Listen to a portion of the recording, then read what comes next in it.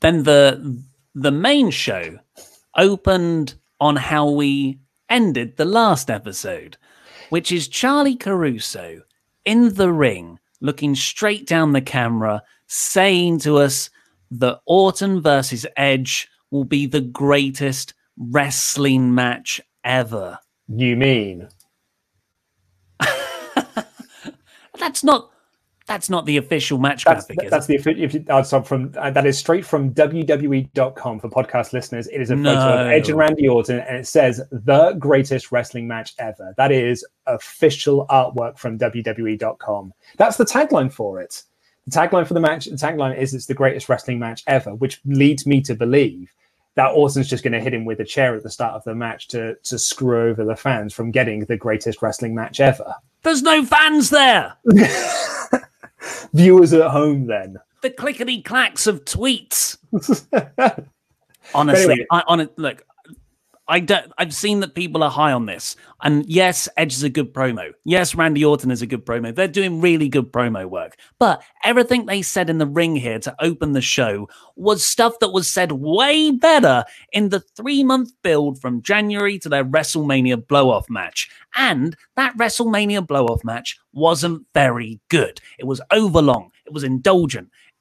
Just never ended. Loads of people, loads of people, Dave Meltzer, one of them, said it's amongst the worst WrestleMania matches ever. It is the second longest WrestleMania match ever, second only to a goddamn Iron Man match whose whole point is being long. It's ridiculous. Now, I think WWE have sort of got offended by that and pettily reacted by saying, well, you're going to get it again. And you know what? It's going to be the greatest wrestling match ever. And that's how they're billing it. Charly Caruso really awkwardly looked into the directly down the lens. That, that was directly at Dave Meltzer saying, no, this is the best wrestling match ever. It's not like AEW and New Japan. This is the best. Randy Orton and Edge. And then they started this week with that as well. And then the commentators said it every time they referred to the match. And now that goddamn match graphic. Oh, look at it. It's hideous. The It's greatest it- wrestling match ever. What it does is it sets impossible expectations. Edge has wrestled once in nine years. Randy Orton is 80% boring. They're not going to have the greatest wrestling match ever. So they it's it's just going to make them look bad. It's going to make WWE look bad for even thinking it could come close to something like that. I hope it is the greatest wrestling match ever, but I don't think it will be.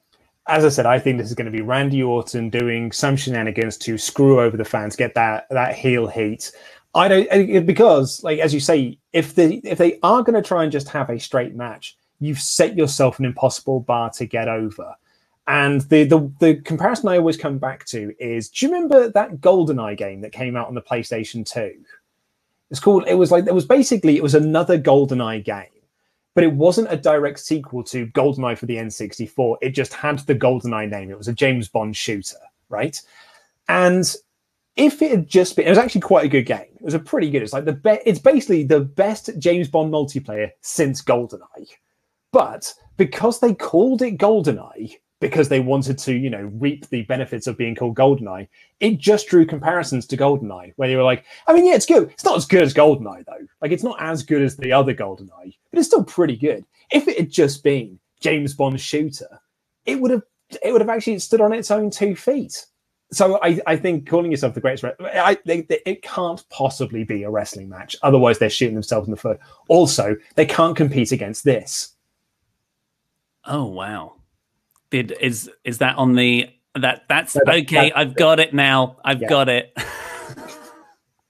That's what I made up myself.